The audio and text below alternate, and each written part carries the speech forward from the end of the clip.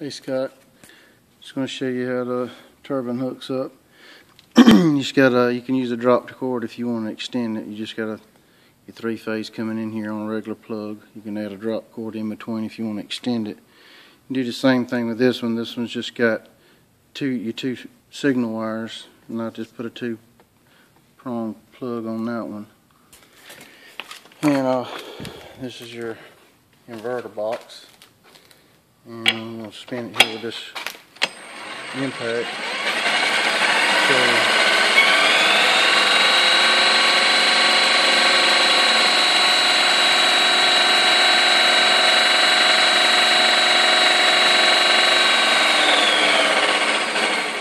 that's really all you have to do.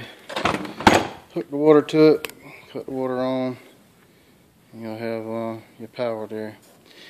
And if you want to try a 48 volt without the inverter, depending on how fast it spins, you can uh, hook these three phase to a rectifier and run it to a 48 volt or whatever. I'll send this other stator with it. It's a high, it's a high amp stator, a lot thicker wire. Just don't put out as much voltage if you wanted to try it with a different one.